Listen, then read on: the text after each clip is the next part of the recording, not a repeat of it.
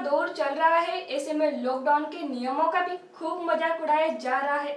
इसी को देखते हुए भोपाल पुलिस ने पूर्व मुख्यमंत्री दिग्विजय सिंह सहित आरिफ मसूद और भाजपा विधायक कृष्णा गौर पर एफआईआर दर्ज की है।